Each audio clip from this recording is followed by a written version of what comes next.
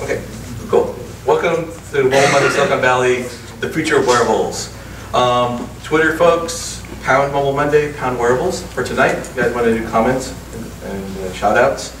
Um, how many people here first time tonight to a Mobile Monday? Wow, it's always like half. It's great. It's awesome. Um, how many folks in actually in the wearable space? Like they're they're building an app. How many app builders for wearables? People building hardware. Cool. All right. All right, so introductions. Uh, I'm Mario Tapia. For, the, for, for those folks who don't know me, um, president of Mobile Monday here in Silicon Valley.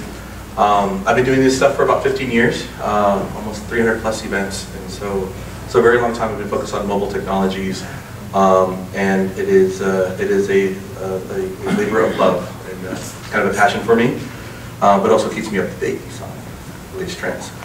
Um, so agenda tonight, we will basically have a welcome from me.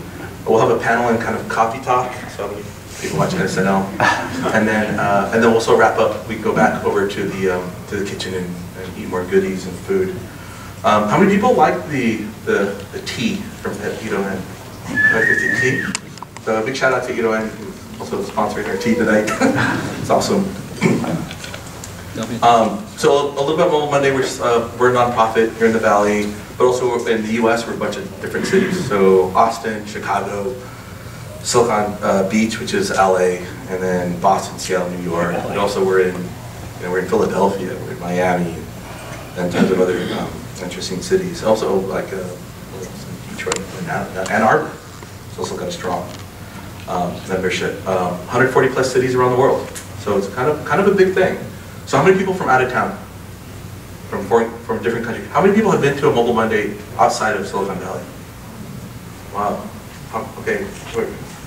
How many guys? How many people in Europe? No? Yeah. Wow. Asia? Yeah. So you always find some folks. One guy went to London. Yeah. So like, the guy's been all over the place. Wow. So um, so yeah. So when you guys travel, you're on a business trip. You know, look for your local Mobile Monday chapter. You might be having some that night, which is great. And I think we had. Uh, I think uh, our friend Rudy came, came out from East Coast, and he's familiar with Mobile Mondays as well. Um, kind of the stats, like who, well, who's in the audience? And uh, this is typical, like when you guys signed up, you had all these questionnaires, and like, well, what does Mario do with that? And it's really to try to understand who you guys are. Um, how many people here are business development and sales? How to carry that role? How many people are developers that write code? How many people are product and marketing? Venture? All right. Yay! Um, okay, uh, the unicorns, which are the designers. Who are the UX people? See, that's awesome. Cool. Media, bloggers, etc. Awesome. Cool. So um, a little bit like what do we do? Okay, so we have this monthly meetup. We also do something called Mobile Monday Labs, which is a little bit more technical. So the audience would be pretty much all engineers. And then we do um, some VIP dinners for CXO folks, and it's typically like half big company, half startups. And we always talk about some topic.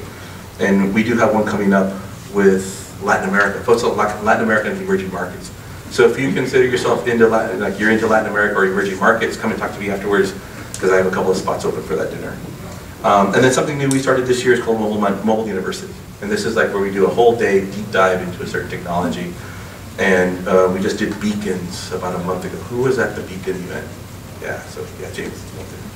So, um, so where to find us? Um, like you're always like, where's Mobile Monday and how do I get? How do I find a place? MobileMonday.us is a great place. And as always, we have multiple channels on like how to find us, and that's Meetup. We're also on Twitter. We also have Facebook events, so you can also follow us on Twitter and Facebook. Um, for folks that you know, how many paid tonight? How many people had to actually buy, pay 10 bucks?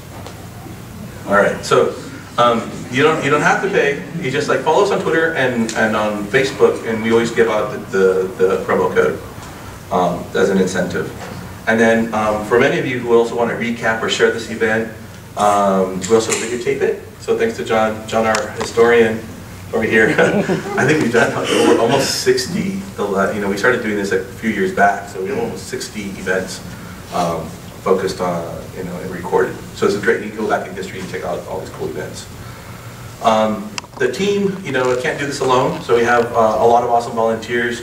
With Ryan, we have uh, Monica is also on the operations side, so she's helping get this stuff done and working with our partners. Um, you probably ran into Chelsea and Stephanie downstairs. Um, they've been awesome, and also John has been great for at least documenting what's going on. Um, so tonight, I guess uh, we could also thanks for our sponsors. So uh, Orange Fab had.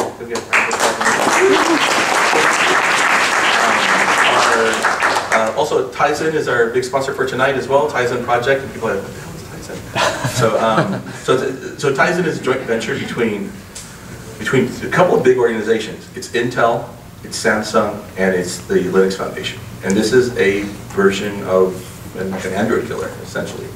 So it's a Linux-based operating system um, that if you have uh, some type of Samsung wearable or some type of Samsung device in the future, it will be based on Tizen. How many people have a Samsung TV?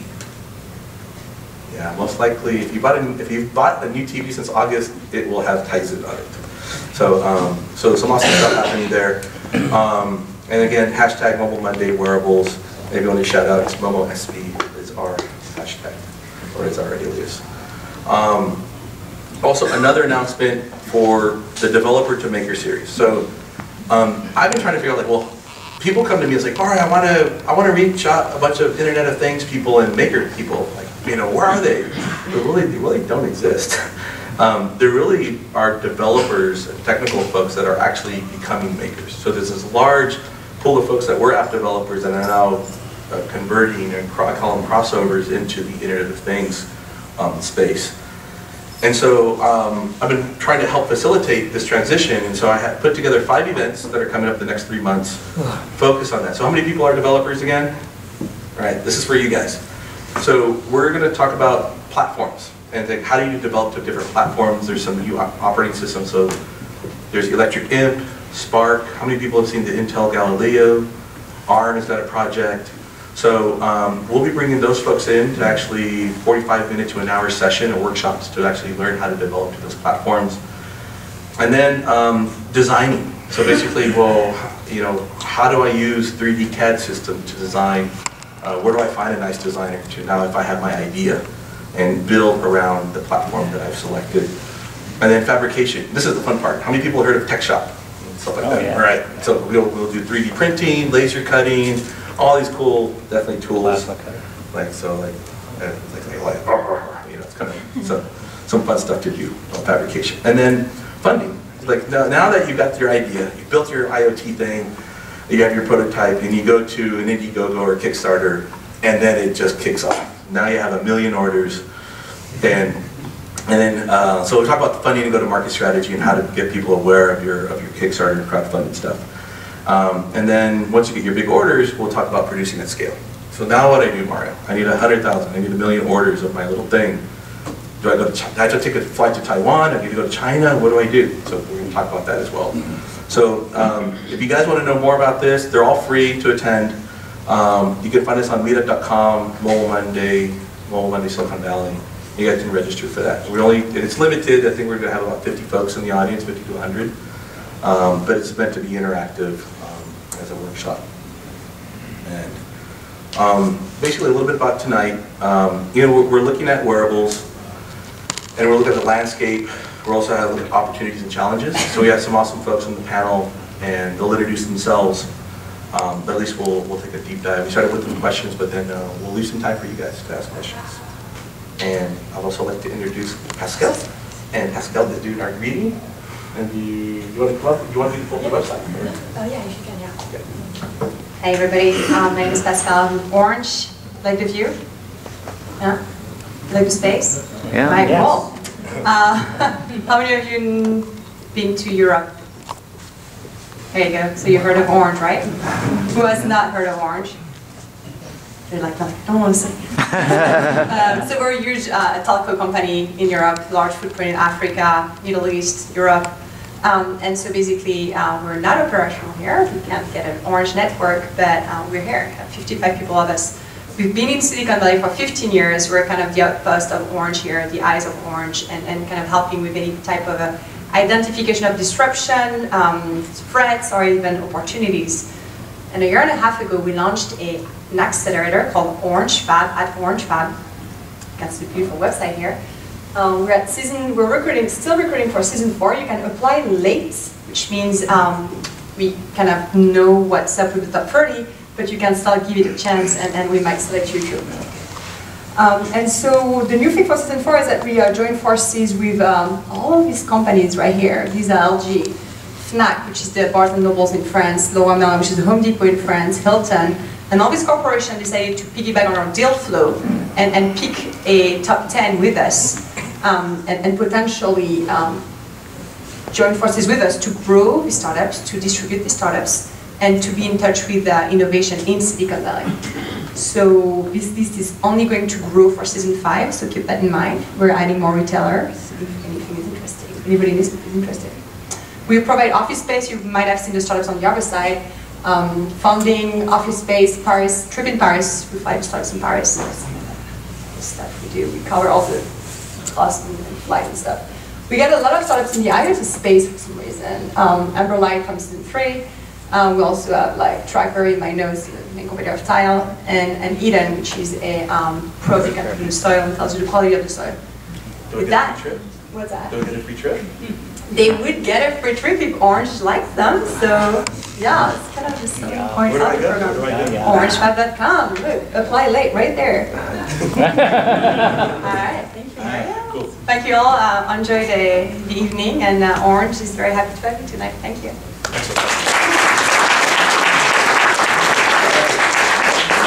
Panelists, come on up.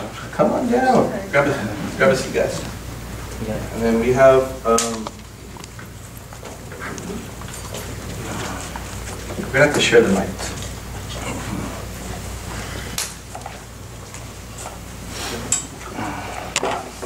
Oh, you can go right. The one with the cross. You guys, you guys share. You guys share. Do you want, do you want to share for the process? Yes. Cross will be speaking at the end. All right. high school dance. Girls and all that. Uh, Come on, backward skate. Oh, and uh, one other announcement before, um, MEF Global Forum, you guys have a postcard on your chairs there? Some people have it, some people don't. Look at the bottom of your chair, there's a prize. No, uh, no. Just joking. Uh, um, The MEF Global Forum is coming up next week. Um, You guys have a awesome discount code there. Um, And I think also, you have also a great discount for startups, I think it's at 299 uh, Kim, are you around? Kim, where are you? Kim isn't here. So Kim, Kim is with MEF and she's around here tonight. But uh, you guys, uh, the discount still is valid um, for this for this coming week. So um, hope you guys can take a look at it and attend. Um, all right, Whew. enough about openings. Um, let's talk about um, wearables. And I'm, I'm going to let um, we'll, start with you, Dion, and yeah, introduce yourselves, name, what you do, why should why should I care, kind of kind of introduction, and just uh, we'll go down the go down the line. Okay, I'm uh, Eliane Fiolet. I'm the co-founder and editor of Ubergizmo, one of the top gadget blogs in the world. We publish in uh, three languages, English, French, and Spanish, and uh, I have a French accent and recently became American. And we are very, yes. So I'm, I'm working on a Californian accent, actually. Uh, and um, we are based here in San Francisco. We started uh, almost 10 years ago uh, when the Treo was cool. I don't know if you remember that. and so we have been uh, focused on covering mobile devices, um, wearable tech, uh, smart vehicles and robotics uh, since uh, that time. And uh, today, actually, wearable is, is becoming cool again in Silicon Valley. And, and we are seeing uh, hardware startup uh, again. So something that we didn't see for a number of years before, because the costs uh, have been reduced. Uh, so that's basically uh, that's me, and uh, why you should care because I, I, I'm like seeing uh, many many wearables devices. And I I have more in my bag, I have more in my office, so some I think I know something about that. Hi, I'm Deepa. Uh, my company is called Cuff. I am probably the least likely person to be on this panel. I'm an interloper. I've landed on your planet. Um, I had a very, very simple idea, which was to make a wearable that women would actually want to wear. And I somehow uh, back-ended into a platform, which was a word I didn't know before I started my company. Uh, we launched in March. We have a bunch of uh, traction. Uh, we have a bunch of partnerships, and I think we're approaching wearables in a little bit of a different way than um, other people. And I think we're opening the doors for um, other players in the space, both in terms of brands and also other people to appreciate the power of them in terms of um, end users. But I'm a random one. I was a lawyer and a journalist, then I was the VP of product at Restoration Hardware, then I obviously founded a tech company in my um, linear career trajectory. Yeah, it was, I mean, it's pretty, I mean, magic eight ball, predictive, right? Right. Yeah, and uh, now I'm here. You should care because Mario told me to come. That's why I came. Hi, everybody. My name is Darren Sabo. I work here at Orange, uh, along with Pascal and Jameson and uh, about 52 others. So what we do here is, as Pascal said, we're essentially uh, innovation ambassadors for Orange Group back in Paris. It's a really interesting position to be in. It's our jobs to keep a tab on Silicon Valley, recent uh, uh, emerging trends, uh, interesting startups, interesting entrepreneurs, uh, and feed that information back to Paris along with potential business opportunities, which can take a variety of forms. Uh, sometimes it's co-creation of actual products or services or proof of concepts. Sometimes it's partnerships or licensing agreements if it's a much more mature, business. And other times we feed the startups into the Orange Fab Accelerator and try and get them the pilot. Uh, that happened the most uh, recent season. Um, we got a health-related startup called MedWhat into the accelerator, and now they're, well, I guess, four months later, um, we're just finalizing the details for a pilot in Botswana. So we're actually able to take these startups out of uh, the incubation period. If they have a product, something we can actually put in the market, we can help introduce them to country managers uh, and get that into market. So my focus is on digital health, right? So I work directly with the Orange Healthcare Group in Paris. And if you're not familiar with Orange Healthcare, right, I've been around formally since about 2007. It's about 200 employees. Uh, we operate, well, Orange Healthcare operates in 20 countries. Um, we have products ranging from IT and infrastructure support for hospitals and care providers to remote patient monitoring solutions, all the way to uh, health and wellness applications. So uh, wearables falls into a variety of those, a variety of those targets. And uh, you should care because I could help get you guys into the market. Cool. You test us out. It's too Thanks, Mario, for having me. My name is Mike Nabers. I work for Samsung, a division called Media Solutions Center of America. So what we do, we source apps and build partnerships with uh, tier one, tier two, and tier three apps, pretty much at all verticals, um, and specifically with our emerging devices. So primarily, as of late, with the Gear S, which will be coming out this week. That is sexy though. Yeah, pretty slick device. Can you So make phone calls from it? you can. Yeah, you can make phone calls. Maybe I'll call you during the panel here. um, but it's the first 3G uh, supported wearable device uh, as, as far as a watch. If there's something else, I'm not aware of it. Uh, but it takes a, it takes a nano SIM on the back of it, and uh, it's much improved. It's two-inch Super AMOLED screen, and uh, 20 minutes of talk time? no, it's actually solid. So uh, I'm sure we'll be telling you guys quite a bit, but truth be told, the prototype of this device, the battery was very weak. Um, and I was just amazed at the finishing touches that we did on it. So I get about two and a half days of time on this device before charging it. So it's uh, really substantial. But um, yeah, look forward to talking to you guys and hearing the rest of the panel um, as we talk about wearables. Hi guys, uh, my name is Bashir Ziadi. I go by Bash. Uh, no relation to the shell for the developers in the audience. Got that. Okay. Um, so uh, I've been doing. Yeah, Bash's parents are really nerds. Yeah, I wish. They went to UC Berkeley or something like that. Uh, I've been doing sensor systems and biological sensor systems my entire career. Um, I also have been done mass consumer product. Um, so, you know, Guitar Hero, I did the guitars for Guitar Hero. And I brought that recently to um, Basis, which is you know where I'm working now. And uh, we recently got acquired by Intel, so we're just launching our second product. Um, that guy, not quite as fancy as this, but more sensors. Um, we're more in the health. No, that's fancy. You'd have no response. I, uh, that's what we're here to talk about. so um, yeah, so I've you know been observing the, the market and the, the experience and building product in this place for uh, a while, and I'd uh, love to contribute and talk about it. Cool, thanks guys. All right, let's get down to questions. Um, so, it, you know, we, we, last year we saw a big spike in a lot of buzz about wearables. And, and, and definitely even this year, 2014, was, you know, a lot more buzz. And there's a lot of chatter about wearables. And I, you know, yeah, I went to Mobile World Congress and I saw huge, I mean, large areas just to get dedicated to wearable devices. Um, we saw the launch of Apple, Apple Watch. We saw Basis get acquired. And, you know, early in the year, I think um, there, there was a forecast of 90 million wearables that are out there. I haven't, I haven't seen any data yet to show like well, what actually did ship this year.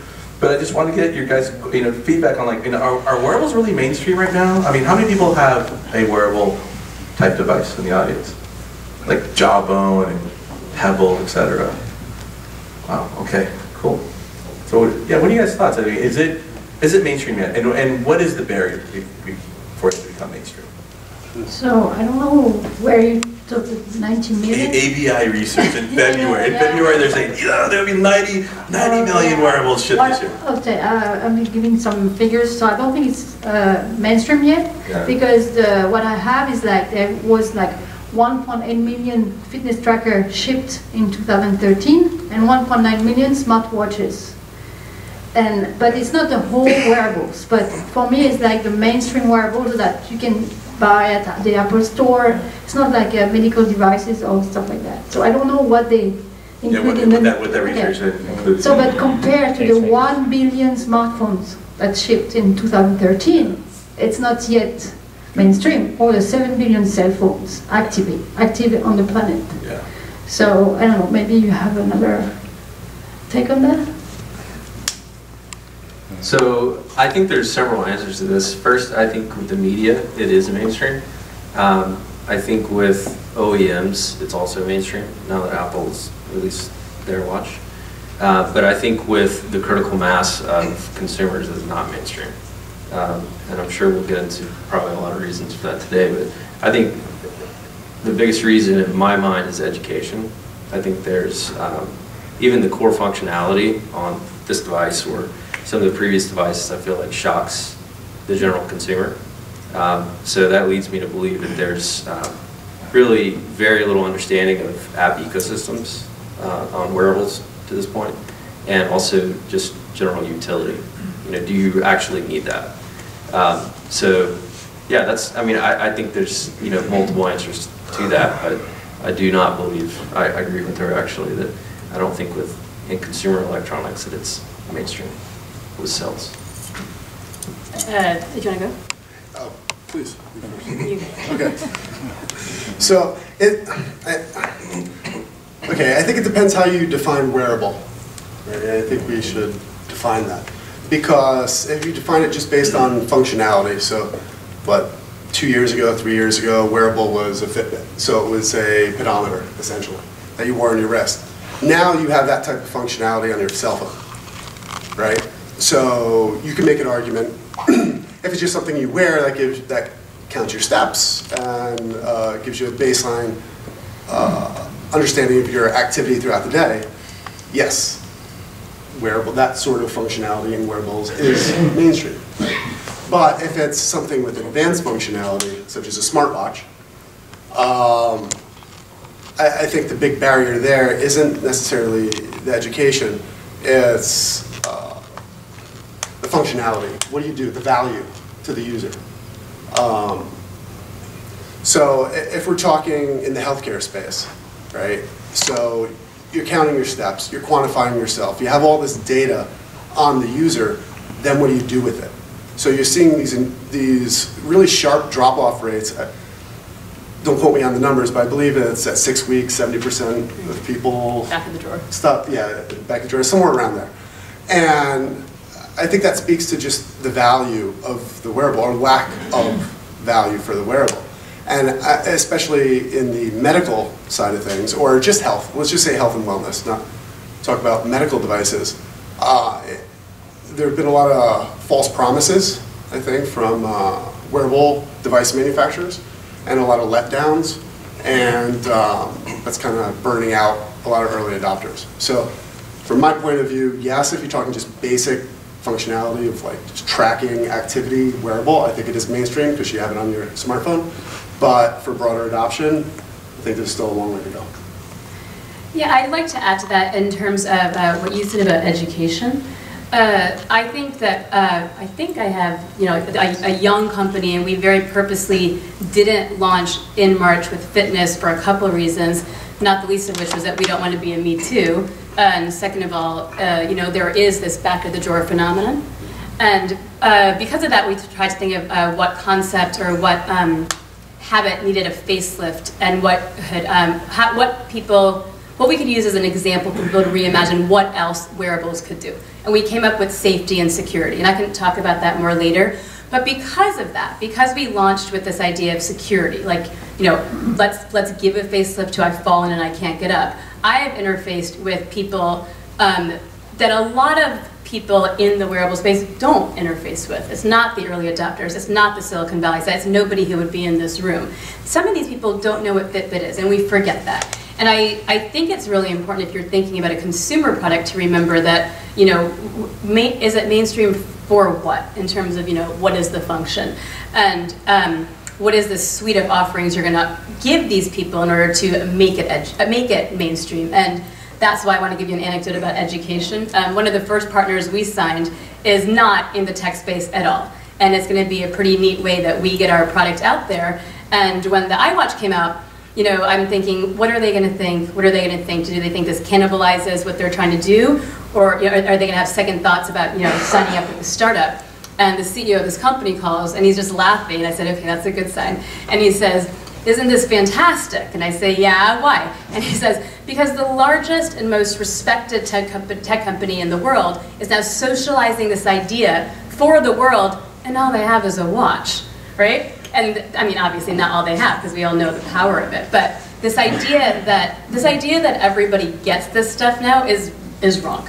And maybe enough people get it in certain silos, like in the medical space, in the fitness space. But trust, I'm selling products to everyone from you know the Real Housewives to like the 99 year old woman in you know in Michigan, like next door to my mom. And some of them, there's a whole spectrum of understanding on uh, what this actually does. I mean, I think I'd like to echo a lot of what you guys have been saying. Uh, you know, as we've seen in the past couple of years, we've seen the number of companies entering into the space just grow dramatically. Uh, I can remember the time where you know we were designing our product to specifically target the two competitors in the space, um, and now it's like, oh yay, another wearable launched. exactly. Um, exactly. And so again, education's an interesting one. You know, the rising tide is in fact rising all the boats, and it's opening up a lot of interesting niches. But that also opens up, you know, the question of what is a wearable and how big is that market, and how are you going to start dividing that market up in the long term. I think, um, so Darren a little bit about fitness versus hardcore health. And I think that's where, I mean, we're, I think we're starting to learn about wearables and kind of the data that we can collect. So which one has the better opportunity? Is it, is it really going to be? Durable. Obviously, it's durable, durable wearables. Police are going to storm it. So, uh, um, you know, uh, so Keep product placement. So the question is going to be fitness versus hardcore health opportunities here. Okay, so um, I'm going to select, for example, the one I started to cover wearables when Basis was one of two companies. Basis had the value proposition of the heart, heart rate monitoring. Now, uh, the, the, mainstream, I would say, consumer uh, smartwatches, they offer the, the, this, uh, this benefit. But I've been testing uh, many smartwatches and sometimes their heart rate monitor doesn't work or it's not accurate. So the question is like, we will have maybe two kind of devices, the very, very advanced medical devices with a lot of accuracy, with a lot of like, and we can count on that. And the consumer maybe uh, devices where you can have like some fitness features and some health fit, uh, features, uh, but they might not be very accurate. Um, secondly, I work out, and for me, a fitness tracker, a pedometer, it doesn't work. It, it's no value because they cannot. The, the, you're on a treadmill or if you're. yeah, if you are lifting weights, you have to enter all your weights, and it doesn't make anything for me, okay? So, um, you know, maybe people want to track if they do um, enough exercise, being told what they, what they need to do, or, uh, and they need to have more, more services and more value in this. Otherwise, uh, after six months, 30% of people, they stop, they stop using it. Darren, you have any? Yeah. um, doesn't. So I deal with this all the time, right? Uh, Most of the wearable startups I talk to uh, want nothing to do with the hardcore medical space because it requires, you know, on average, 18 months applying for FDA approval, clinical trials.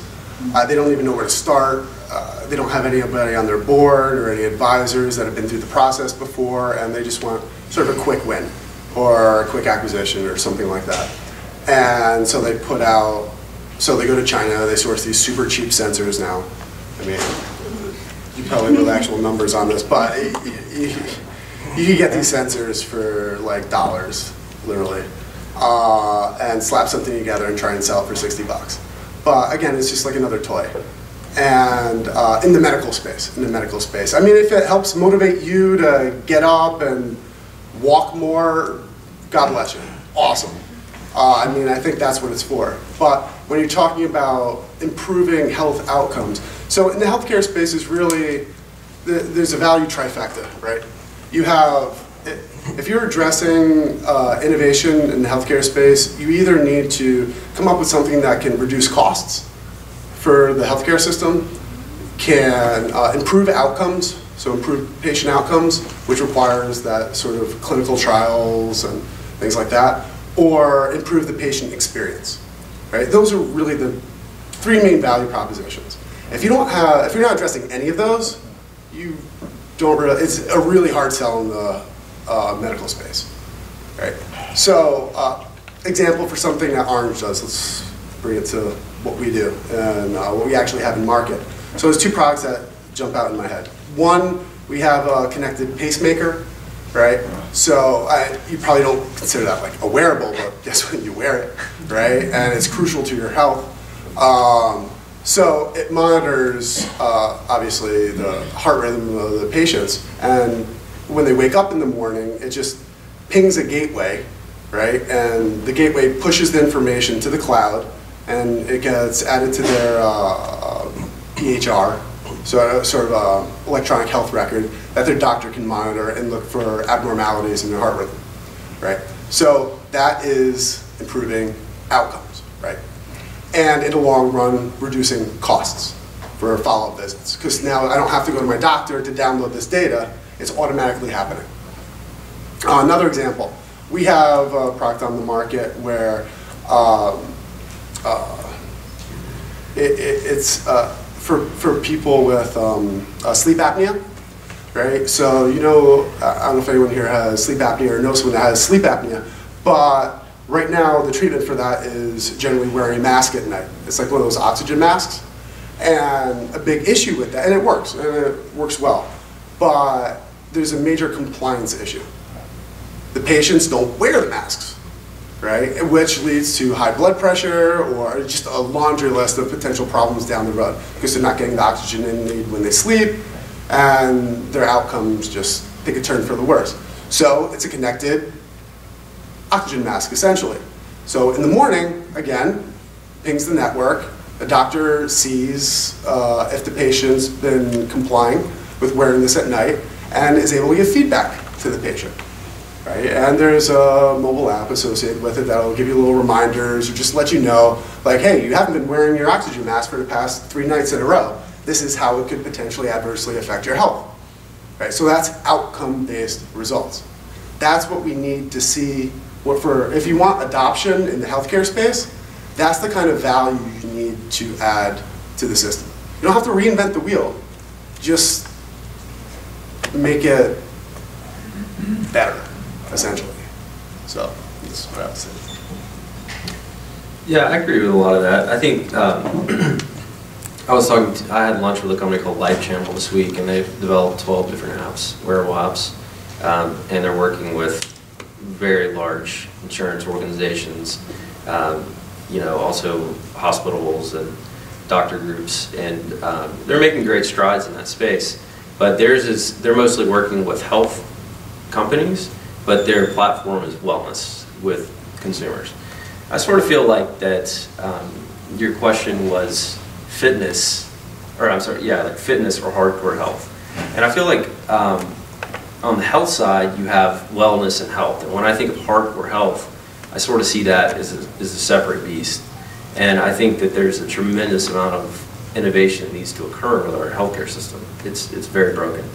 And, you know, I don't really think doctors can fix it. I don't really think the government can fix it or insurance companies, but technology has a chance. So there's a tremendous amount of opportunity in that if somebody, you know, takes the time to actually go and gain an understanding of the healthcare industry and how antiquated so many areas of it are. Um, with the consumer electronics industry, really with the critical mass, I feel that um, you know wellness and fitness are huge because there's a lot of people that um, I feel like that is going to touch a much higher number of people uh, earlier on. Um, and I think we already see that in, in wearables to date because almost every wearable has a fitness component. Um, but I, it's hard to say like which one is bigger because I think that the hardcore health actually could be more transformative and just amazing leap forward for our human race, right? But I think the wellness and the fitness is, um, it's getting a lot more focus right now and it's a lot more mainstream. Bash, you, you, you you have a lot of sensors on that device. Yeah. And maybe you want to share a little bit about a lot of the, at least the, the, the, the health data that you, that you're monitoring, and maybe at what grade level is it? Maybe, is it FDA approved yet? You know, you don't know. So I've actually worked on an FDA-approved device before. Um, We are absolutely not an FDA-approved device. Do not quote me anywhere near FDA. Um, The FDA is a scary, big, dangerous government organization to startups and smaller companies. Um, But at the same time, there's some interesting ground that has not been explored that gets close to the borders of FDA land. Um, and yeah, you know, everyone's right. Everyone everything they've said, I completely agree with. Is uh, you know, the process to be a medical device, you know, medical monitor device is a compulsory need. People must have it. Therefore, your market's fantastic. You know, they will buy it if it has sufficient patient outcome improvements in a market that's funded by insurance companies. Then it will get funded and subsidized, and it's a fantastic place for you to be in. Great way to get acquired by some of the big companies, Medtronic, you know, J and J, all the guys. Um, being a guy who's a sensor guy, you know, working on a hugely complex sensor product, we've we've explored a lot of that space, and you know, again, a lot of the early sensors that we built sucked, honestly. Like, uh, but people have learned, people have changed, people have grown, and much to the same sense, like the original um, Fitbits, now that's that's par for the course. If you don't have a pedometer in it, now people are like, well, why doesn't it sense this? It's almost like it's expected. So, you know, there's all these sensors that you can put in and all, they all serve different purposes, but that's just first order data. That's what is my heart rate? How many steps have I taken? That's actually not interesting. The most interesting question is, how does this affect me? How do I become a better person because of this data? How do I then become a healthier person? How do I live longer? How do I have happier children? How do I have a healthier life? How do I get to have better indulgences when I do want to indulge? How do I improve my willpower? How do I sleep better? These are all the questions that people are trying to answer right now. And we start with the data, and then we move upwards. We move towards the human aspect of what this, what health means to people. So on the sensor side, how, how close are we? How many, how many years out are we really for the sensors to be really accurate? So, um, you know, in, in, in the U.S., we're, we're not headed in the right direction in terms of health, right? 50% of our population in the next 20 years will be in the obese area, which I probably am a member of, uh, and, uh, and but also diabetes, right? And so these are going to be huge. I mean, we're going to see we're going to see a large portion of our 20-year-old kids coming into you know type type one, um, the, di- the diabetics. So where are the sensors right now? How how close are we? Absolutely. So every type of system to sense is unique and special into its own. They're their own little unicorns. Um, the reason we've ended up on optical heart rate for the sensor system is that it seem to, seems to do the best. It's still really hard. Uh, to give you a sense for diabetics specifically, the amount of insulin in your blood is about this amount of um, sugar that's in a pack of sugar. Now, there's about five liters in your blood, blood of blood on average. Now, to detect that optically, that's you know a few molecules of insulin through an aperture like that big, right? So that's a fairly complex system right there. A lot of people have been trying to solve this for a very long time, and there have been books. Yes, there's been books written about how it's impossible to solve optically and how other mechanisms need to be made. Um, again, you know, sensing other things like what is health? Well, if health is you know the neuroreceptors or uh, neurotransmitters firing off in your blood, and you you know how your cortisol levels reacting, you know how um, aggravated you are. All these things are really hard to detect. Um, so there's questions about can we use secondary sensors, secondary mechanisms to detect this. All that stuff's really far out. But you know, as we increase the number of people trying to solve this problem, um, you know, leveraging this whole free market system that we think is actually really good, uh, hopefully we'll be able to solve it faster and faster. Got it. So this looks like the next question I have is, all right, well, so for wearables, why are they so focused on fitness? I mean, okay, so here's some, here's some numbers here. Um, This is a Wired magazine article that was just published um, covering um, Washington, uh, MoDev just did a a wearables conference in DC a couple of weeks ago. So as of September 30th, there were 266 wearable devices on the market, including 118 fitness wearables. This is Wired. Um, with 23 slated for release before the end of the year, now, of course, for holidays. So 118, it's like uh, almost half of the wearable devices out there in the market are fitness related. Why? Why is that? I think because it's uh, the most obvious. It was uh, a pedometer was obvious. I guess maybe an engineer can. Yeah. And well, it's the most obvious consumer uh, application. But a recent uh, GfK survey actually um, showed uh, it was conducted in five countries: China, uh, Korea, Germany, UK, and one more. And they discovered that the consumer, what they want, the, the, the, the uh, application they want is like payment from a wearable device, controlling the house, controlling the car, and uh, uh, identification. So but dif- different countries have different, uh, uh, you know, demands. Like China was the the most advanced to have like all these features, but the Germans they were like 20% of the people um, surveyed. Uh, when it came to uh, healthcare, you know, healthcare data, they were because they really um, are concerned about privacy. And I think that's the difference between countries. So, so it do- doesn't, it doesn't feel that they, they are interested in fitness anymore.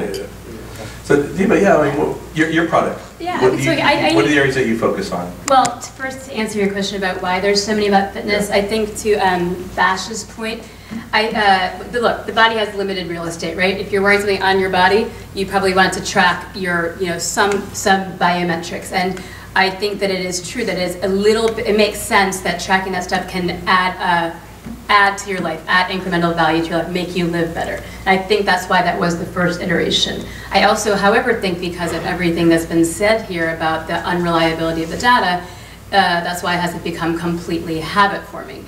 I also, uh, I think it's really interesting about the, um, I have literally nothing to say about fitness versus hardcore health. I have nothing to add. But there is a philosophy around that, you know, in the sense that it's one, it's very, very clearly fulfilling a need, like you were saying, in the hardcore, on hardcore health space, versus what I'm doing, which has the ability to delight. And there's very different ways to approach wearables. And there, there is going to be, you know, a hybrid. My hybrid is fashion and function. How do I make this something that sort of merges the two? Um, in hardcore, in the hardcore medical space, you won't. Who cares?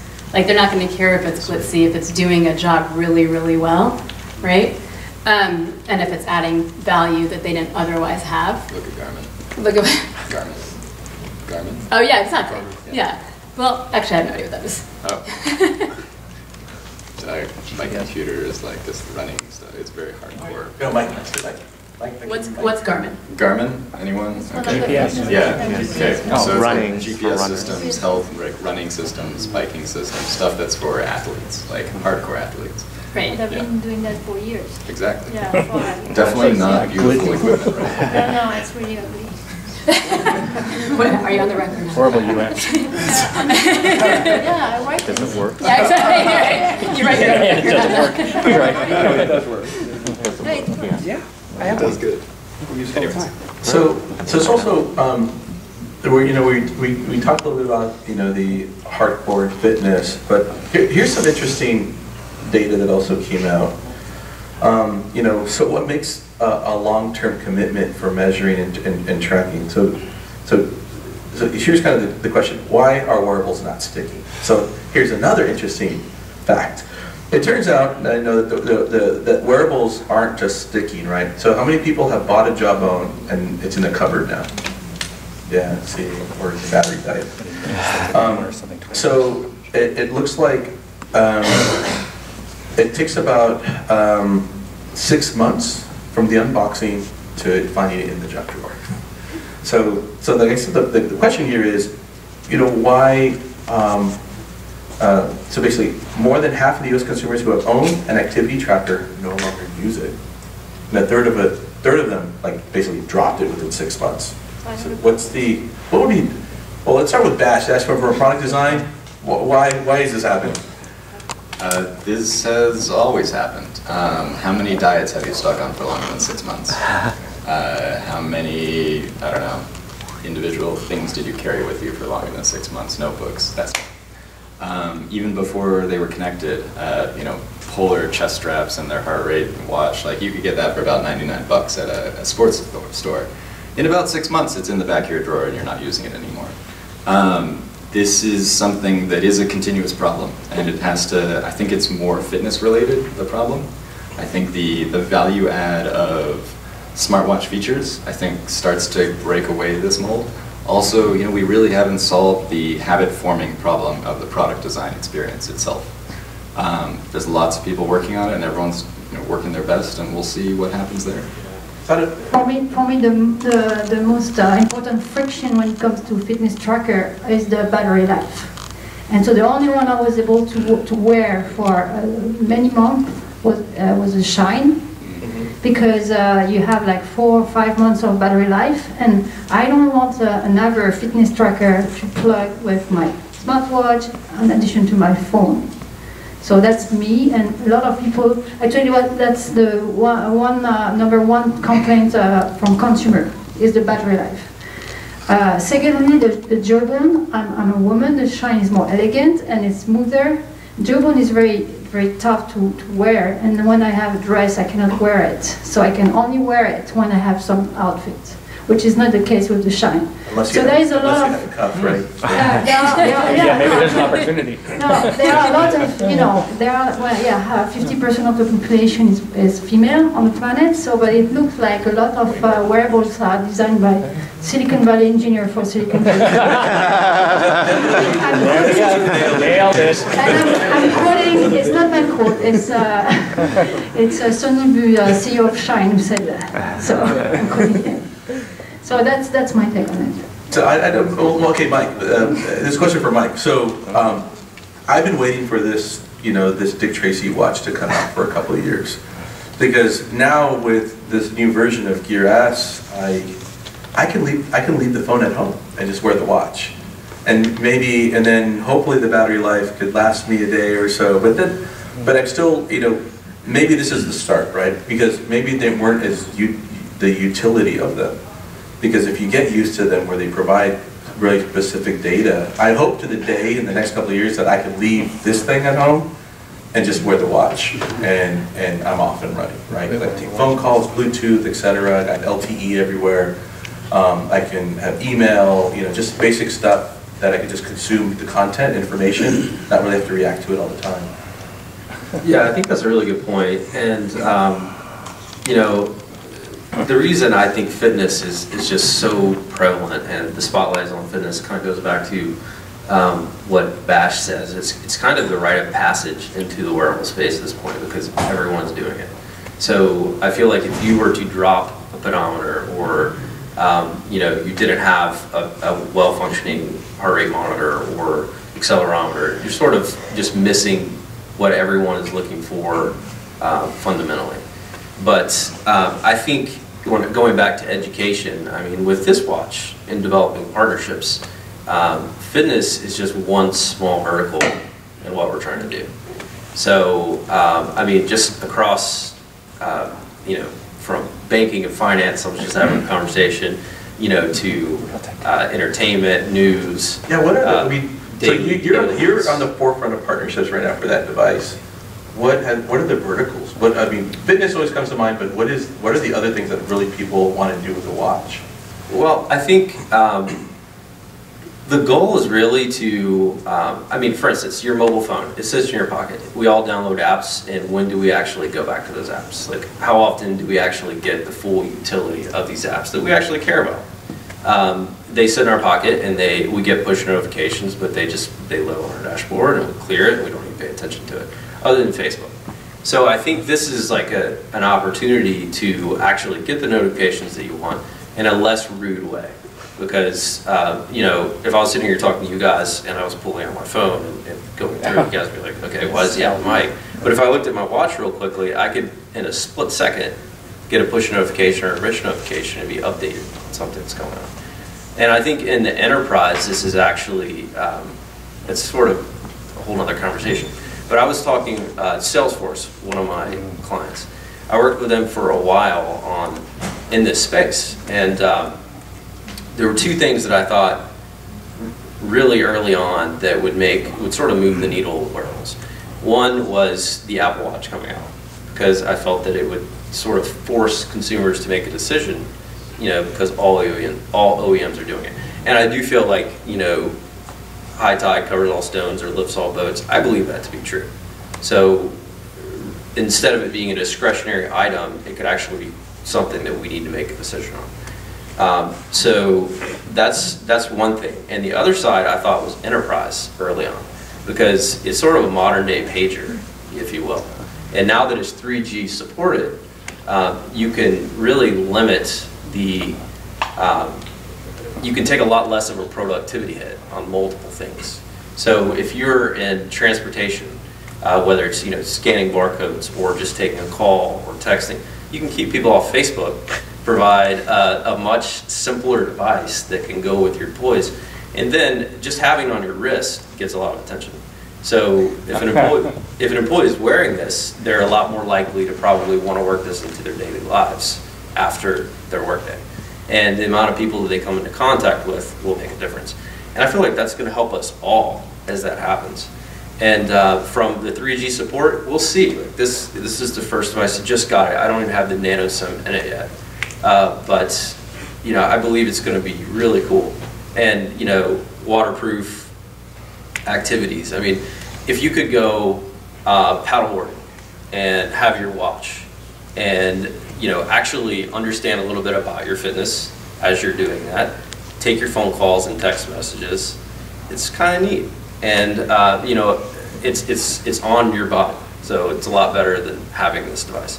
So i think there's a lot of utility and i think across the different verticals that we are sourcing partnerships and it you know it's it's full spectrum. So i mean i don't really want to like name drop all the companies and stuff because the device is coming out and we have you know marketing in order for that. But um, there's there's quite a bit of utility that I think the general population is not aware of. And honestly, I would have no idea if I wasn't doing partnerships for it.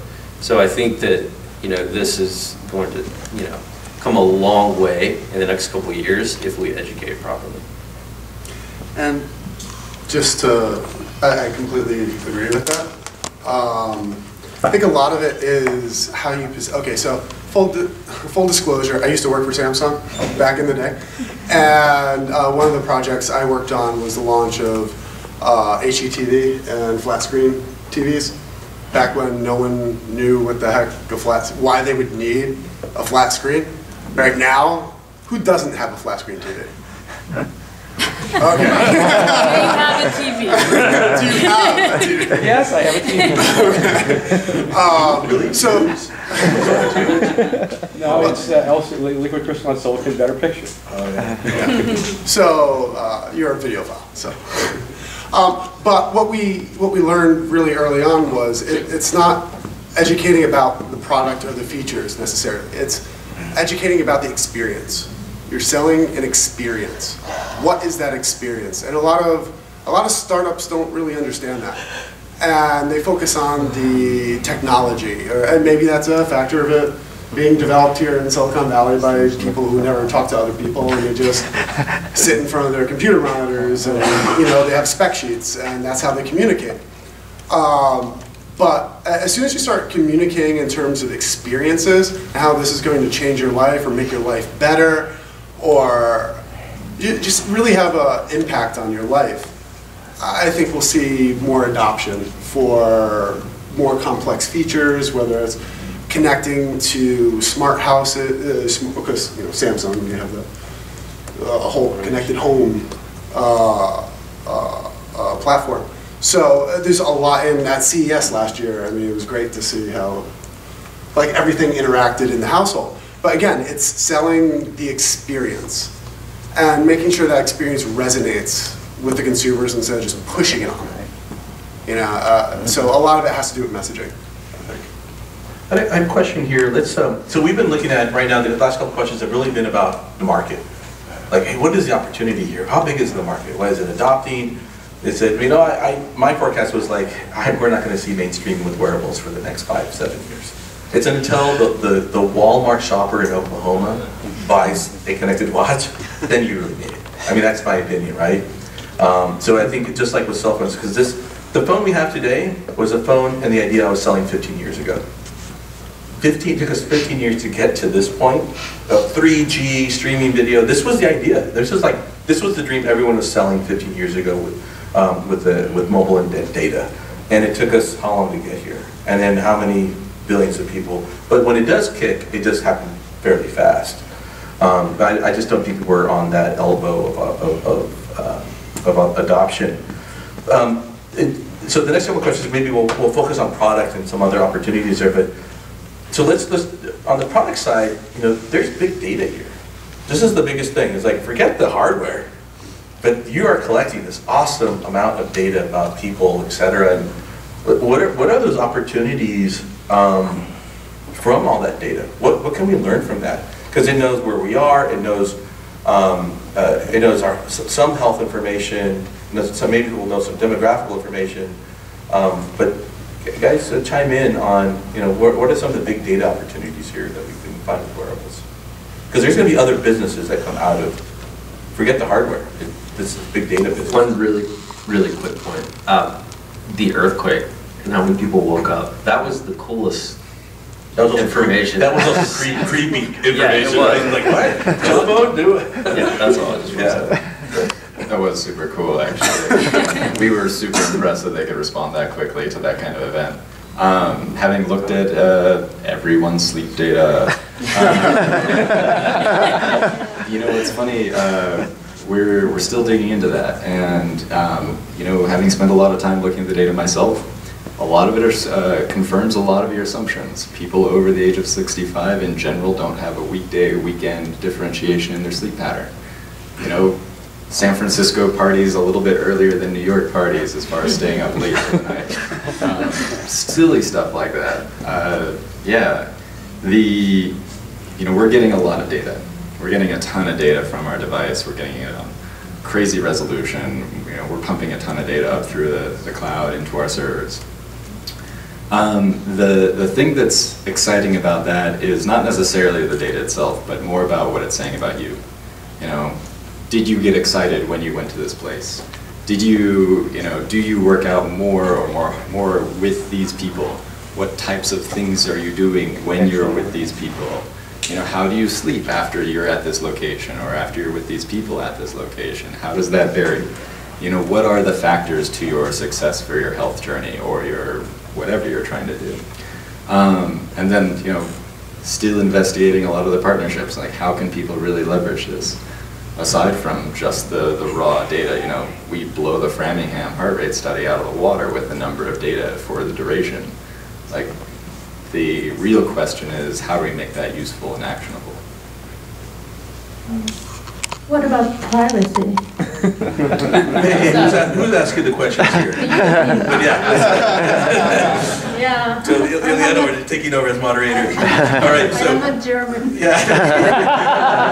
All right, but yeah, No, let- let's, I- let's talk about that. Well, I- why I say that, it's just because uh, uh, I think for historical reason, the German, uh, in any uh, Q&A uh, uh, panel, uh, the German journalists are the one asking more, uh, more question about privacy. They are, and their laws are more strict in Germany But for privacy. I love the Germans because they're not, they're very private about their lives, but not about their private parts.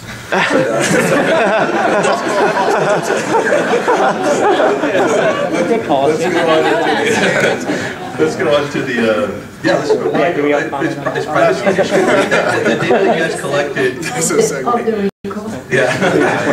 It gets, it gets anonymized, Yes. hopefully, right? Yeah, absolutely, Um, absolutely. uh, But, uh, Well, but. well, anonymized, when we see how uh, Google is uh, giving uh, some information to the NSA, I don't know.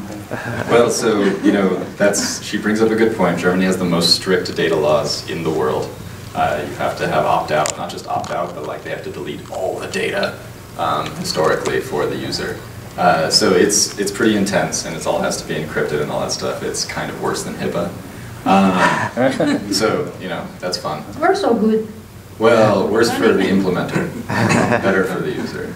Uh, the, the privacy one's interesting. Um, of course, you know, Google can always do interesting things with the data, and I don't, I don't, I think because we haven't answered the question of how is the data valuable explicitly, like we haven't really solved that yet. We don't necessarily know what the pressures that are being applied to privacy from the business side are.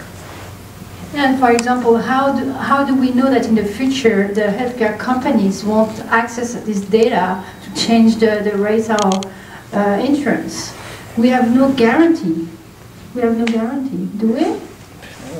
Did you, did you guys read, did you guys read the PricewaterhouseCooper uh, survey on wearables that came out like a week and a half ago? No. Did you read it? There was this, it was, it's really good and really exhaustive, and you can get it online. But there was a cool statistic that um, some, over 50% of employees would opt in to letting their employer look at their information if it was anonymized, um, if it went down, if it took their healthcare costs down.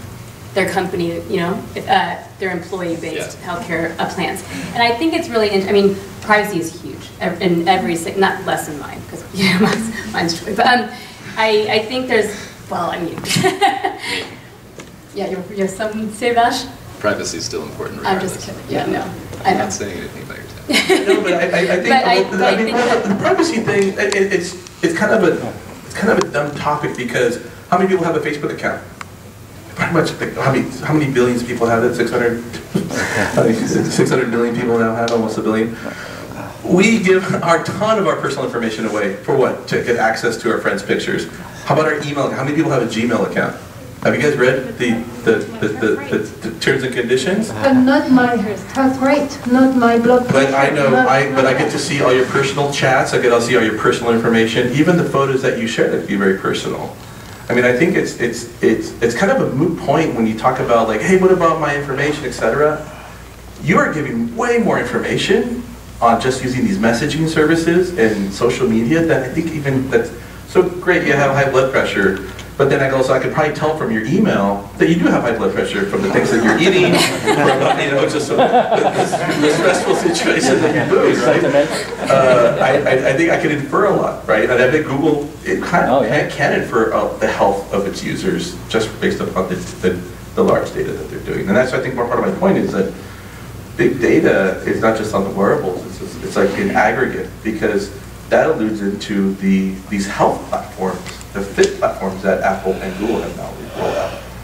Because now they're aggregating, they created a platform that aggregate all of those connected devices, right? And I don't know how many people, so I don't know, maybe Bash, you're probably, you're very familiar with, you're very intimate with what's going on with these platforms, right? And so Strava and all these other guys. Um, So I, I, maybe you have some, some comments on the, at least on these fitness platforms, or their, their health platforms, it's iHealth. Yeah, so, Yeah. uh, from, what I think is, it's still, it go, it goes back to defining the value, right? So if I'm giving up some privacy, right, it, I wanna get something in return for that. Yeah. And as soon as you define what you're getting in return for sharing that information, whether it's free access to a platform to share information with your friends, there's the value proposition for Facebook, right? Yeah. Uh, for Google, it's more targeted advertising, right? So for health, it should be, you know, ideally it would be, uh, you share your uh, uh, health, your fitness information. Let's not say health fitness, that gets a little trickier, like lab results and things like that. We'll keep that So that, that's HIPAA compliant, right? So that's Yeah, yeah, be like, that's, that's different, but we're just talking, when we're just talking fitness data, right? Uh, if we're just talking about the data that I'm sharing with, say, Basis, to understand my sleep patterns better, so I could get better sleep. Mm-hmm. And they're making a promise to me saying, hey, you'll be more effective during the day, you'll, you'll be more awake if you share this data with us and we're able to use it to push uh, some behavioral change sort of suggestions to you, right?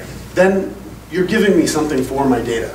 And I think the problem is when you're taking, but you're not giving me anything back. So you're taking my fitness data or my location data, and I don't get anything for it.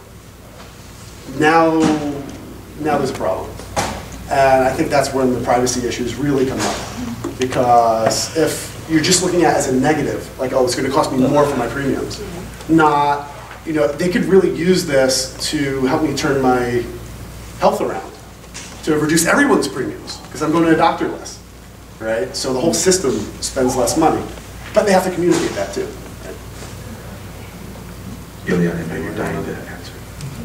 Said yes, yes. Uh, but I wanted to um, actually uh, throw this question because on all the panels on- about wearable and IoT, uh, there's a question that is um, not very much um, addressed, and actually nobody has a good answer. Uh, and it's a question that a lot of users they, they are like worried about because uh, health is a very very uh, very intimate uh, topic for people. It's not, not yes, Facebook. Yeah, I post my picture of food, and if you look at my food picture, I, I should be uh, obese, I think. but it's not the case, you know. So no, because I, I post a lot of food pictures. So. Um, Good on you. but so, um, yeah, but I, I'm conscious that uh, Facebook is looking at, at what I'm, I'm posting because I get a lot of uh, restaurant uh, advertising in return. but uh, yeah, that's something, uh, privacy is like a concern for, for people. So that's why I asked the question. I mean, it's a good question to ask, and it's always something we should be thinking about as we create these data platforms in the future.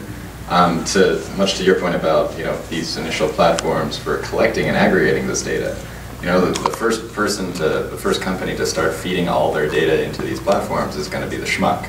But the third company and the fifth company, then all of a sudden you're starting to get these aggregate value, and now you can start using that data for other things, creating more value from it.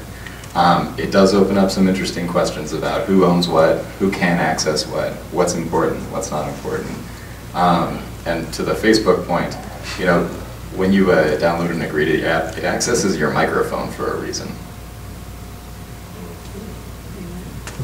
Or, or for example, uh, in your iPhone, there is you have to drill down 10 level to uh, to disable the, this function by default that actually store all your location minute by minute. So it's another example that you uh, it's not opt-in. Now, it actually, now it is. And- Now is when you do a new phone, it does pop up, it says, do we, would you like to enable location? Yeah. But if you're a converted user, yeah, you're, you're SOL. And, and, and to Mario's point earlier about inferring a lot of this information. If you may, if if you just do a Google search for uh, symptoms of high blood pressure, and you look at other search behaviors. And you're, and you're logged in. And you're logged in, yeah, you're logged into your Gmail account, I mean. Yeah, yeah, they totally. There you go. Yeah, I don't even, I don't even need to know what your blood pressure is. whatever. know. I know you're concerned about it. And based on where you're checking in on Foursquare or whatever, I know you're eating at, you know, Kentucky Fried Chicken five times a a week, and there, that's all you need. Let's, um, I want to bring this stuff back over to, on the product side, because we're talking a little about market and then talking a little bit about the big data stuff, but, all right, so, um, and I think Bash mentioned this is one of your questions. So basically, the, we call it the, the stack, the technology stack. What's, what's in, what's involved with the wearable device?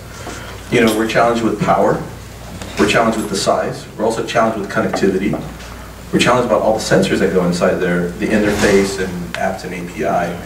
Um, so what, what, out of all of these, which is probably the, the, the largest obstacle when it comes to wearables? What is, what are the, from, from a consumer perspective and a product perspective, what is the biggest issue? Is it connectivity? Is it, the- is it the battery size? What, what is it today that actually is a big obstacle? For me, it's battery, but I go crazy. You guys. Oh. So I mean, I think batteries across all technologies. Wow. the- It's still, and by the way, 15 years mobile devices, battery's still number one. Yeah. It always, it's always been the number one biggest gripe. I'm still waiting for Tesla to come in and just rip things up.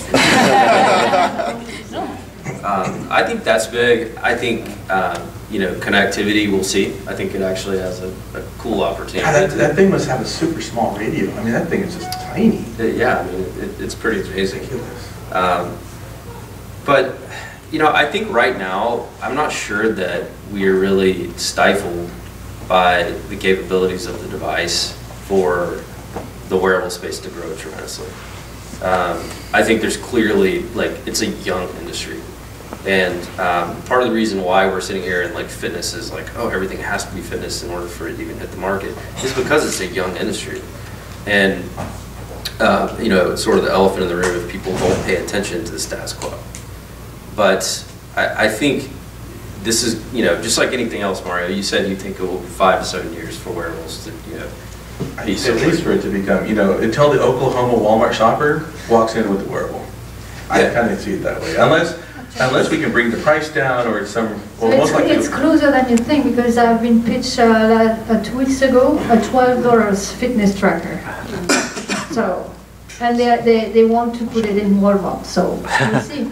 well, I think there's going to be. Yeah, we are gonna have the Oklahoma Walmart shopper with the wearable pretty soon. Okay. I think it's clearly the desire of all the OEMs and tech enthusiasts for it to be the next frontier.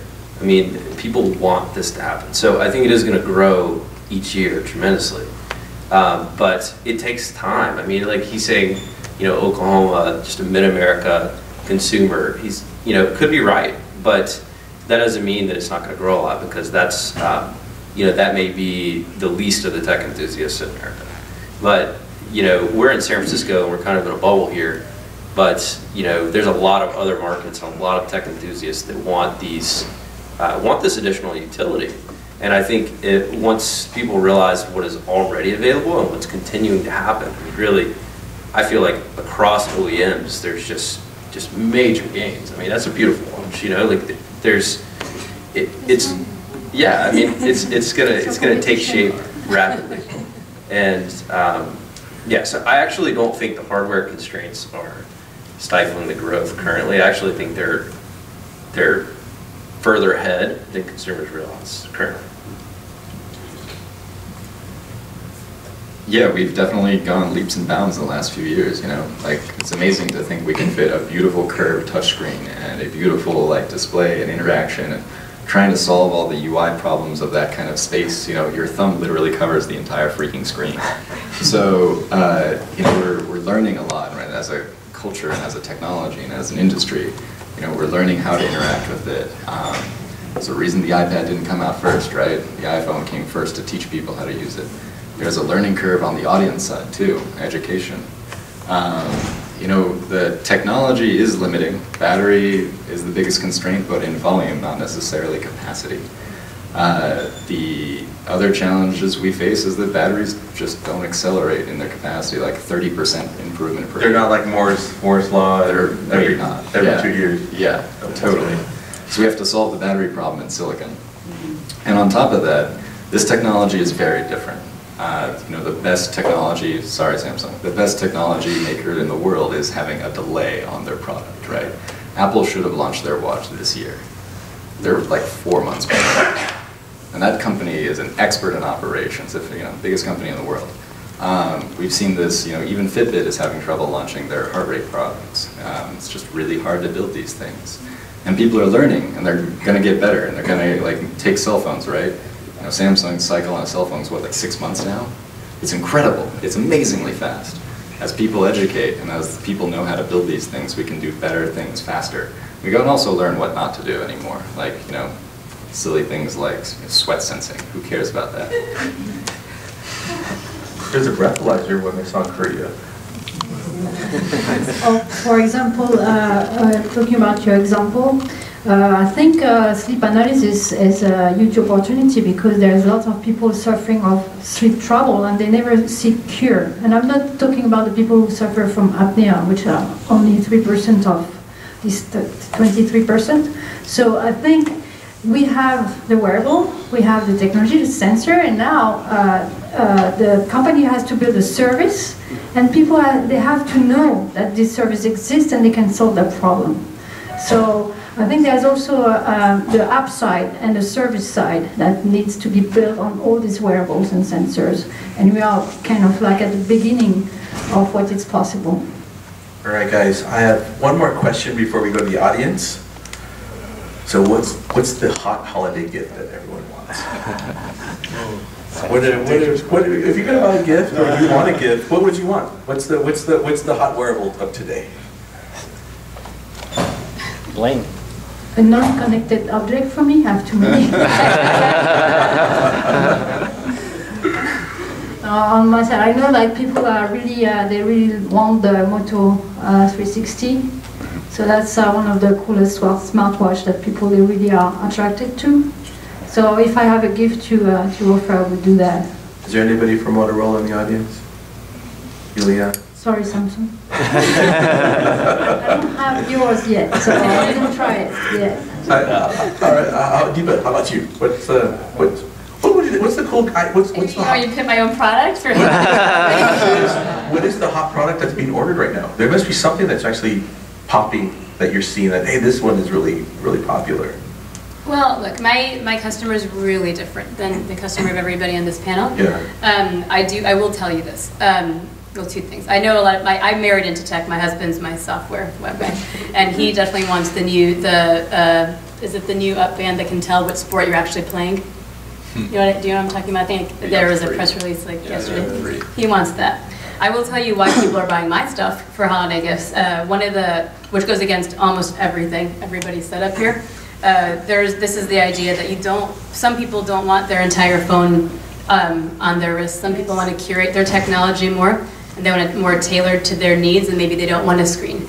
And maybe they want to um, come back into control of how they're using tech. And a lot of people think that some of the habit-forming um, notification functions of Cuff are going to help their family stay more connected and like look each other in the eyes at dinner, and, and which they would like for the next year. Interesting. Now, How about the Wonder Woman bracelets? Do you have the? do you have Well, one of those? I do. I wanna that There'll be a demonstration That, that one was really cool. Is it Bulletproof. Collecting bullets. Well, I, well, you can. I don't know how you'll Oh, land. All right, Darren, Darren, the man that has So- every, the man that has everything. Yes, so What would be um, the hot item? uh, I'm really looking forward to uh, taking the Basis Peak for a test drive this, uh, this holiday season, and I'll explain why. Because I'm a triathlete and I have the Garmin system, and it's a lot of different pieces, and I would love something accurate enough for me to. So you're wearing use the, you're wearing the chest heart rate monitor. yeah, I got, I got a little foot sensor. Yeah. the-. I mean, it's, it's a real pain in the butt. So uh, if challenges out, if you deliver on the promises, I'll be very happy, personally. Game on. So if the rumors are true, I want to get the Gear VR at the beginning of December. Oh, that What is, one- what I is wanna that, learn what more is, about what is, space. what- what is that? What, I saw it on, on. So it's compatible with the Note 4, and it just basically pops into the wearable headset. Okay. And um, it's virtual reality. It's a partnership with Oculus. Cool. So they're, you know, supplying the content and their specialty. So I really want that, you know, it's one of the first to market, and I think it would be, you know, really good to, to learn more about it and, um, you know, enter that world. All right, all right, Bash, you, this is off the record, this is Bash without the Basis hat. What, what were you looking at? A trip to the Bahamas. dude. Uh, I've seen a, a very, very um, cool thing. Uh, it won the Intel um, wearable competition like uh, a few days ago. It's a wearable drone. Yeah. Oh, yeah, yeah, that was wearable awesome. drone. So. For, se- for self, Yeah, for selfies. yeah, so you can fly it, and it, it took, pic- it's, it's Take taking self- selfie, the big selfies with landscape. Really cool. Um, Until, fi- until uh, contest. Yeah, it's a concept, Yeah. Hey, guys, I'm gonna take like uh, three questions from the audience, and it's, uh, so, yeah. She totally did. Send it. So I, my name's Natasha Flaherty, I, and when Mario was earlier about he wanted to leave his phone at home and just uh, wear the watch, and then also Mike was making a comment about everything now on the watch. And yet, then I was comparing, my seatmate here has the LG smartphone, and comparing that, oh, sorry, it's a smartwatch rather, and, um, you know, comparing that to my traditional Citizen EcoDrive analog lady size watch, and then also, also thinking about how we're all getting older, and it gets, as we get older, it gets small, harder to read the fine print. How is that really going to be reality, at least for us ladies wearing the traditional ladies size of watch? There's going to be some cool breakthroughs in display technology soon. Um, You know, it's an interesting one. Ladies' size watches are notoriously, well, difficultly small, uh, especially for hardware where the battery is bigger than most of these watches. Um, And, you know, accessibility with, you know, impaired vision and impaired motor control, like these are all problems to be solved for, you know, the, the aging population, but also people who have uh, illnesses. Um, and there's there's some interesting creative things that we've yet to explore. I would argue that the uh, the Apple's digital crown is is just brilliant, like a completely new method of interacting with electronics, and took a lot of people to make that work. But uh, we're going to see innovation like that continuing to to grow as we start to create more and more devices that do more interesting things. Um, I've seen uh, uh, some attempt to do uh, more feminine-looking watches, and it's coming. The problem right now was like the volume of uh, the unit shipped were not very uh, um, uh, very high, so it's a cost reduction uh, problem or chicken and egg thing. Yeah, um, um, yes. At the beginning of the wearables, they didn't ship enough. You know, specifically startups. I'm not talking about Samsung or Apple. Apple actually did two models one for women, one for men. Uh, the weird things they solve, they kind of solve that problem by doing, uh, they calculate the exact size for a watch to be not uh, too big for a woman and not too small for a man. And the designer actually explained that uh, uh, to us on stage. I, I have a solution. We just convinced the fashion industry to make big is sexy. Big, big is better, right? Little retro, ginormous watches. That'll solve all the problems. But uh, let's go. Let's get another uh, another question out of here. Yeah, Peter. Yeah, so uh, maybe for Deepa, but I'd also be curious from the rest of the uh, audience. Uh, at Salesforce, an unlikely place, uh, will.i.am presented his fashion cuff device. I'm curious to get your reactions to that, which was very oriented towards not only the health and fitness and the interactivity and everything, but also trying at least to bring in that fashion hip component that might make these types of devices more popular. Yeah, it's funny, when it came out, a bunch of my friends said, did you partner with will.i.am? Because he called it a cuff. Um, look, I, I think there's going to be lots of different ways that people try to bridge the fashion function divide. If Apple is hiring the Burberry lady and the YSL lady, they know it too, a Burberry lady, YSL man. Uh, they know that too. Everybody's looking at it. Um, Intel and opening ceremony, which is a niche brand that a lot of people don't know. They're trying to figure out how to make this it, it, it dovetails into habit forming, right? uh, to will.i.am's piece, I, I think it's really cool that he's going to, you know, shepherd in, again, and socialize the concept to people who might not have understood what wearables do. I think his device is, still- it's very, he wants it to like, uh, from what I read, it's going to like, you know, solve world hunger, right? Like, it's, like the holograms are going to come out from it, it can do everything. And, rain- and unicorns, all these words, platforms, systems, networks, they're all going to come out from I cup, right? Big data everywhere. But I, I, I think he's a harbinger of what's to come. Uh, he's, he's awesome. Like, I, when I, I went to CES for the first time, and I saw him like with the 3D systems guy, like printing stuff out. He does these programs for kids in school. I, I think he's, he's, uh, I think he's a pretty cool person to help um, uh, bring exposure to the area. I'm not completely um, sure uh, about the, the, the saturation his particular product can have, but I think he's going to be part of uh, this movement that's going to make this, uh, you know, uh, we'll, we'll, we'll, we'll go from the wild, wild west to the lesser wild west of wearables. So it's, um, and yeah, we were, we actually reached out to the product guys from, um, from, from will.i.am's team to come out, but they couldn't come out. Um, let's go for another question. Okay, glasses. Yeah. Uh, hi, I'm Julia. I run a fashion tech blog actually called Technically Sweet, and I love the shine because it is a little bit more on the feminine side. I have a question for Mike. I went to the Puls uh, Expo and saw the release, and I was dying to see a demo.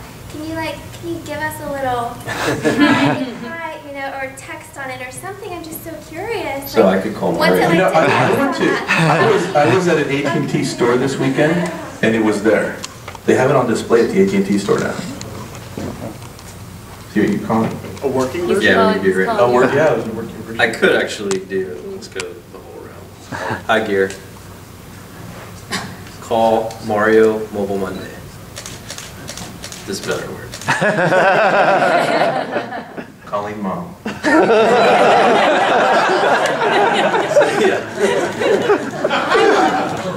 It actually, yeah, it got the whole message of that. So so let me actually just manually go in.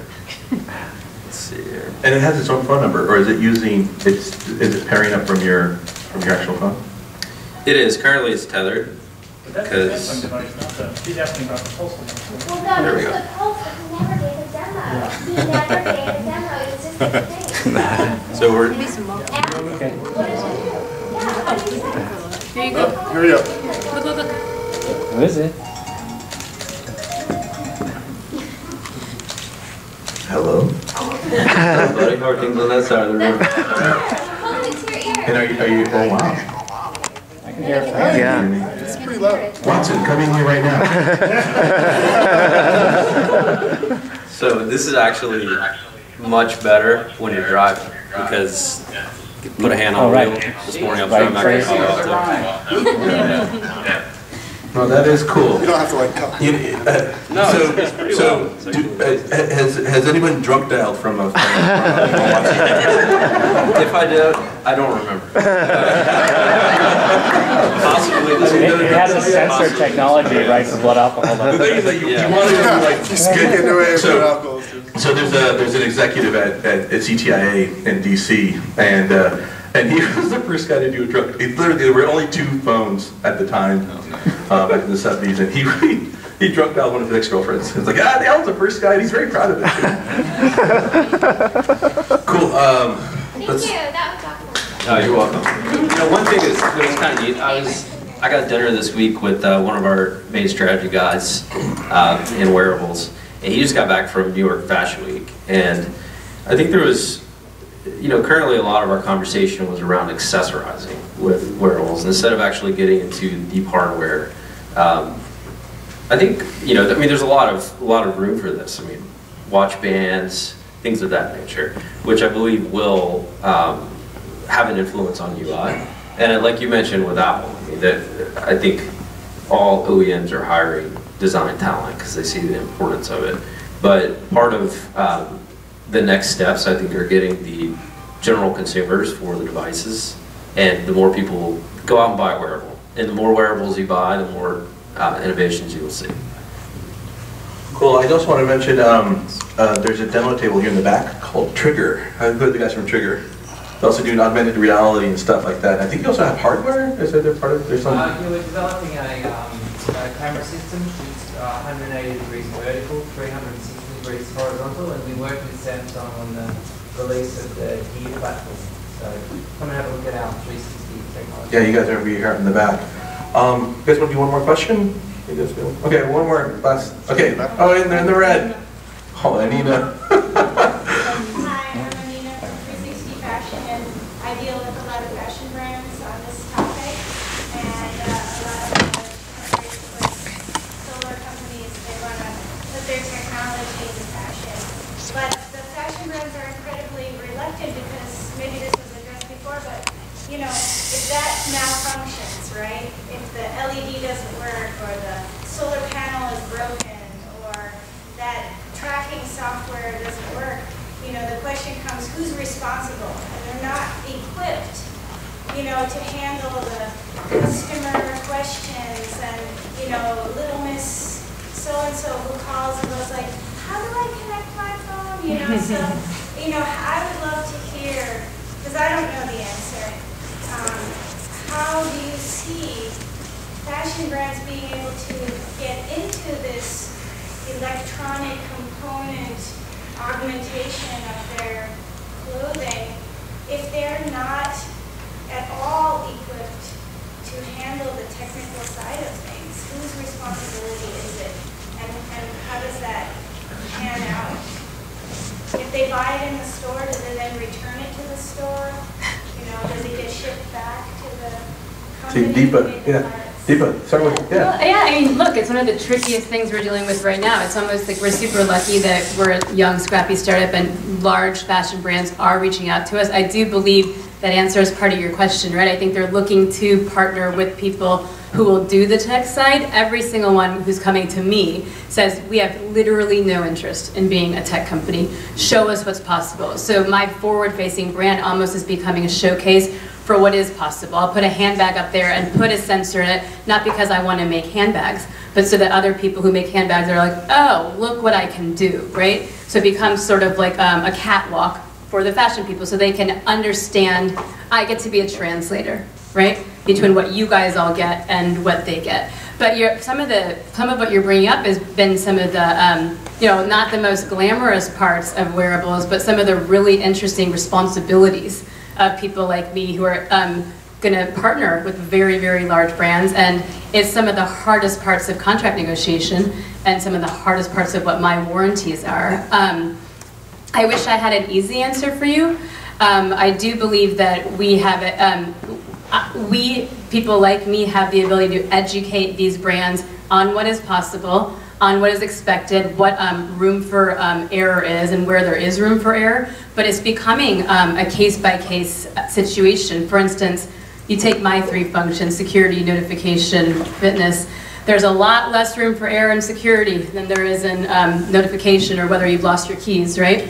So it's becoming um, sort of um, one of the biggest parts of my job is figuring out how to service brands properly. I totally. Um, so, you know, we think the aesthetic is extremely important. Um, you know, our belief in kind of seeing where things are going is that we believe things in lifestyle and how you represent yourself is going to be one of the big barriers for adoption for wearables. Um, you know, the fashion industry is just such a different industry. They have like a four release cycles per year for new product. They ship multiple products. Their product margin or profit margin so much higher. Um, they're just, you know, they the way they think about product and flow and inventory is so different uh, than an electronics company, where you know we are lucky if we ship one or two products a year, um, two new you know, features, new big product. Uh, you know, we have a very like very consistent and repeatable flow for when product goes through. We have generally like set up certain practices for accepting returns, for issuing support, all that type of stuff. And that's all very different when you start to blend the two together. And much like we're learning, you know, what actually is useful in wearables, you know, we're also going to start to learn how to how to start merging those two spaces of technology and fashion. And you know, I'd love to talk more about this because I'm just now starting to dive in, but it's, it's really exciting stuff to see what we can really get away with on the technology side to make it both reliable and non-intrusive. Right now, you can wash your shirt, but you can't wash your watch. Can I get a Basis in a violet color like your hair? If you're really nice to me. His hair is violet. Violet, I like it. It's beauty. Yes. Eddie, Eddie. All right, guys. Well, th- I- thank you very much. Give these guys a hand. We're all welcome. Uh, There's still more food and drinks in the back, and you guys are welcome to mingle. I think the panelists are going to hang out for for other questions. Thank you. Nice to meet you guys. Yeah. Find out.